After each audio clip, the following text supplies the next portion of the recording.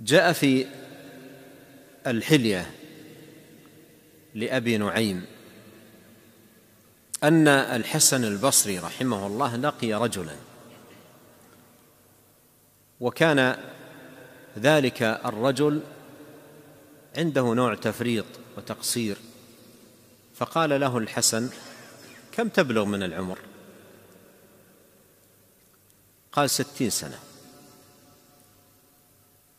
قال أما علمت أنك في طريق وقد أوشكت أن تبلغ نهايته؟ أما علمت أنك في طريق وقد أوشكت أن تبلغ نهايته؟ قال الرجل إنا لله وإنا إليه راجعون. قال له الحسن أو تعرف تفسيره؟ هل تعرف معنى إنا لله وإنا إليه راجعون؟ قال وما تفسيره وفعلا كثير من الناس ربما يقول أذكار مشروعة ويكررها لكنه لا يعرف معناها ومدلوله. قال أو تعرف تفسيره؟ قال وما تفسيره؟ قال إنا لله أي أنا لله عبد. وإنا إليه راجعون أي أنا إليه راجع. فإذا علمت أنك لله عبد وأنك إليه راجع فاعلم أنه سائلك.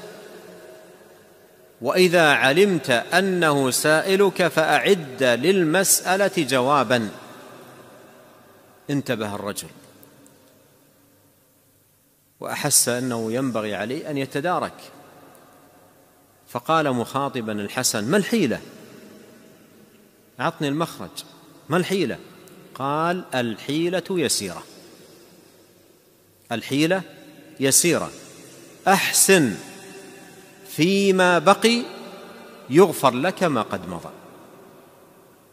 أحسن فيما بقي يغفر لك ما قد مضى. فإنك إن أسأت فيما بقي أخذت فيما بقي وفيما مضى.